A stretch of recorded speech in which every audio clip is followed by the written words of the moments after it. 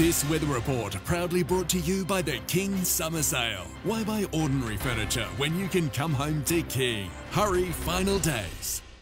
Breaking news. Firefighters are in a race against time. That was terrifying. When it happens, when it matters, you will know with 7 News.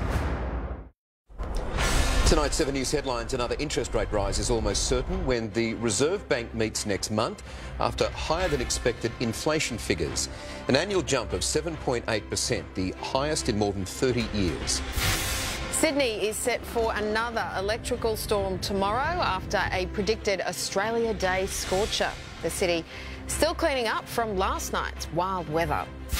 There are new calls for compulsory identity checks on dating apps to make them safer for women. That after the global heads of Tinder and Bumble met state and federal politicians today. And this year's Australian of the Year is set to be announced soon. Now, here's Amber with Sydney's weather. Thank you, Angela. Well, that storm warning remains in place across the far northeast corner tonight as Sydney braces for more unsettled conditions late tomorrow with another warm and humid day on the way. It reached a top of 28 degrees in the city this afternoon. Right now it is 25, although in these muggy conditions, it's often felt a touch warmer throughout the day. The satellite image shows a weak ridge of high pressure lying over the Tasman Sea, while a trough lingers over western inland New South Wales with humid and unsettled settled weather likely to persist to the east of this trough for the remainder of the week. A cool change should briefly impact southern parts late tomorrow and into Friday, with another more significant change likely early next week. Nationwide tomorrow, though, plenty of sunshine and tops of 33 degrees expected in Brisbane, on the way to 32 degrees in Canberra. Melbourne partly cloudy and 22. Hobart tops of 20 degrees tomorrow. 28 the top with cloud clearing in Adelaide, while Perth is on the way to a warm 32 degrees.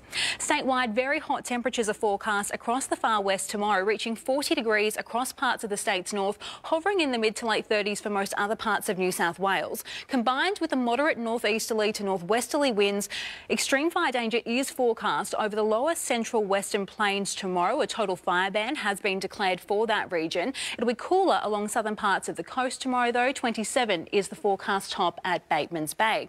Most of Sydney, though, should see temperatures reach reach around 30 degrees. 33 to 35 degrees is expected across much of the west, with 27 the forecast top tomorrow along most of the beaches.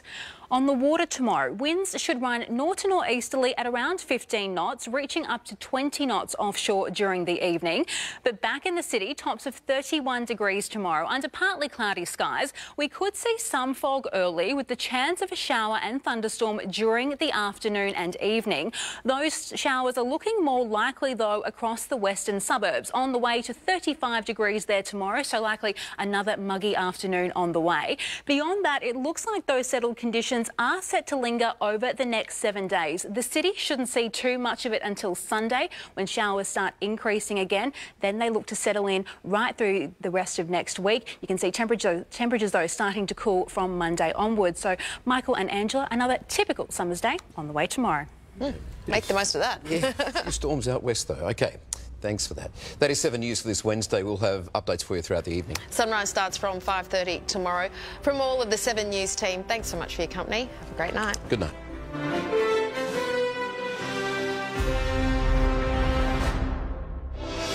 Stream 7 News anywhere, anytime, live and on demand on 7 Plus.